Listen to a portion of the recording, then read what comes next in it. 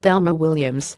Middletown Jail Butler County, Ohio WKRC Butler County Sheriff's deputy said a woman lied when she claimed she was tied up, gagged and stripped. Thelma Williams, 38, is charged with making false alarms in what's been called a total fabrication. Initially, she told detectives that a masked man, maybe named Tony, got into her Lemon Township home Wednesday at 9 a.m., bound her and cut her clothes off. She told them the intruder used her phone to record this happening, then posted the videos to her Facebook account. She allegedly went on to say that the intruder called a contact in her phone and left the phone with her. That person called 911. When deputies arrived, they found Williams in the basement. She was loosely tied up with her ripped clothing and gagged with women's underwear. Sheriff Richard Jones said the helicopter was scrambled to look for a suspect.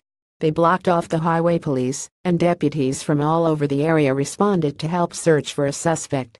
As deputies interviewed Williams about what she said had happened, they said there were inconsistencies with her story. They said she then admitted she had made up the story for attention. Sheriff Jones said she indicated she'd recently broken up with a boyfriend. Sheriff Jones said fake crimes like this are an insult to real victims of crime and people like this are the lowest of the low. Williams appeared in court Friday morning.